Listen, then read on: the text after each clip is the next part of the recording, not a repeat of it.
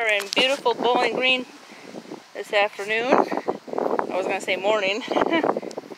so I have to weed all around here, trim all the bushes, cut an edge, natural edge, put landscape fabric down, and mulch around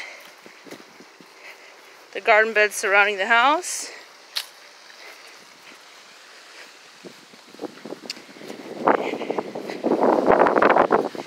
And then I have to wash this deck. It's a composite deck.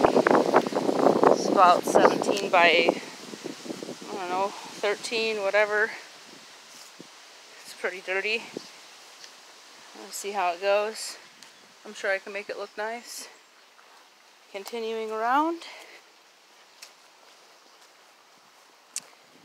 All that has to be gone. Fabric and mulch. Trim these bushes. Weeded, weeded, weeded. Fabric. Fabric stops here. And then just trim and mulch up here. Weed, trim, and mulch.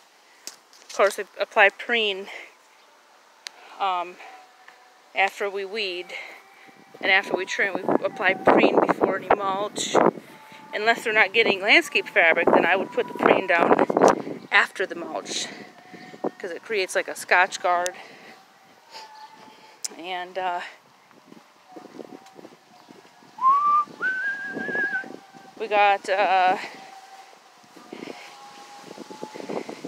this is five yards of triple processed hardwood mulch. You cannot find better mulch than this. And this is really all I will install. I don't do uh, the lower grade mulches. Um, but lots of other people do. That's just not really what I want my business to be about. But um, yeah, we'll see how it goes and I'll make a little clip afterwards. Have a good day.